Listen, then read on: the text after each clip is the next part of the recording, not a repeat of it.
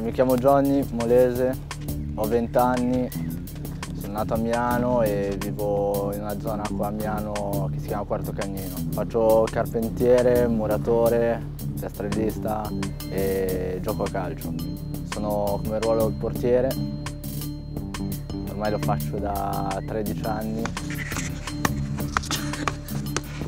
Il mio sogno del cassetto è giocare nella nazionale italiana, fare un passo così grande e spero che arrivi presto.